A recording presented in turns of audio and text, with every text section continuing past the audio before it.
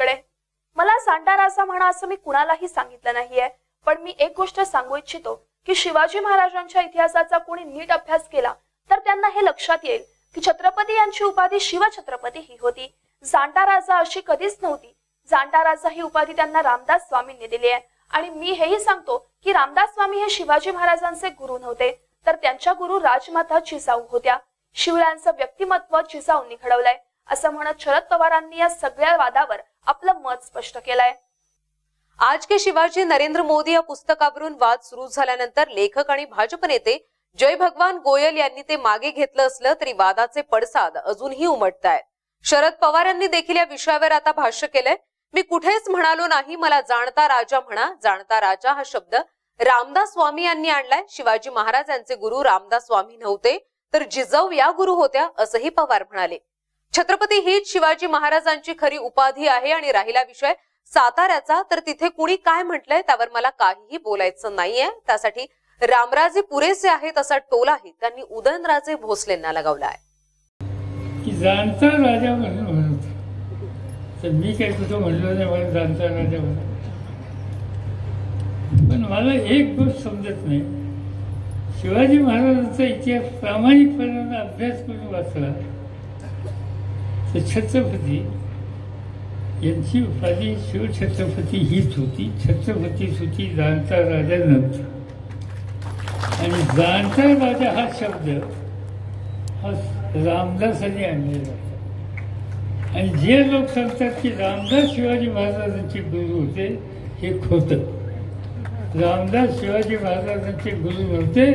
शिवाजी महाराजांचे गुरु राजमाता जिजामाताच होते. शिवाजी महाराजांचं व्यक्तिमत्व घडवलं ते जिजामाताच्या संसारातलं संसारातनं घडवलं आणि त्यामुळं तुम्ही जर शिवाजी महाराजांचा कालखंड नीट अभ्यासला तर त्या कालखंडामध्ये रामदास नव्हते. पण काही लोकांच्या हातात लेखणी होती. आणि त्यामुळे या कर्तृत्व संपन्न. महामानवाला घडवण्याचं काम कुणीतरी रामदासांनी केलं असं लेखणीची कमाल कुणीतरी केली. आणि आम्ही लोक मागे लागलो की महाराजांचं सगळं जे कर्तृत्व आहे ते रामदासांच्यामुळे आहे. हे खरं नव्हे. कर्तृत्व हे स्वकर्तृत्व. शौर्य. स्वशौर्य आणि मार्गदर्शन आणि संस्कार मातेचे संस्कार. यामधून हे एक महाआयामी अशा प्रकारचे व्यक्तित्व या देशामध्ये आलं. त्यामुळे त्याला कोणते जाणता राजा म्हणायची गरज नाही. छत्रपती हे जन्माने कर्तृत्वाने लोकांच्या अंतकरणामध्ये छत्रपतीच राहतील. तिथं दुसरं कोणी काही म्हणायचं कारण नाही. आणि त्यामुळे त्याचा आग्रह हा आम्हा लोकांचा कधी असणं शक्यच नाही. म्हणून तेवढा फक्त आज मी या ठिकाणी हे स्पष्टीकरण करू इच्छितो. बस बाकी काही बोलायची काही गरज नाही. काल सगळ्या निवडणुका झाल्या तुम्ही लोकांनी महाराष्ट्रामध्ये काही गंमत केली? आणि सगळ्यांनी कुठे गेलो? पद्धतीने कातूरला गेलो. होतो काटूर म्हणजे मध्य प्रदेशच्या सीमेवरचा आपला शेवटचा तालुका आणि त्या कातूरचे आमदार आपले अरविंद आपले अनिल अनिल देशमुख सध्या. सध्या आहे त्याच्याबद्दल सांगत मी गेलो. तो शेवटच्या गावी माझी सभा होती. आणि सभा संपल्याच्या नंतर एका म्हातारीने मला थांबवलं. साहेब आम्ही मत देणार म्हणजे तुम्हालाच.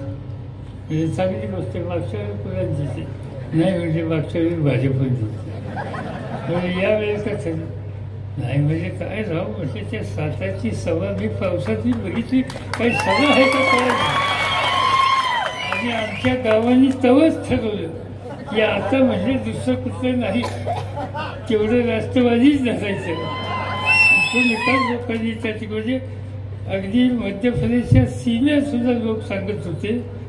आणि त्याचं कारण सातारचा माणूस हा किती संकट आली किती अडचणी आली त्या अडचणी मात एक मात करून स्वतःचा इतिहास घडवल्याशिवाय राहत नाही. आणि ते सातारकरांनी त्या ठिकाणी घडवलं. त्या इतिहासातून महाराष्ट्र बदलला. आणि त्या महाराष्ट्रातून आज महाराष्ट्राचं चित्र एक प्रकारे बदललेलं आपल्याला दिसतंय.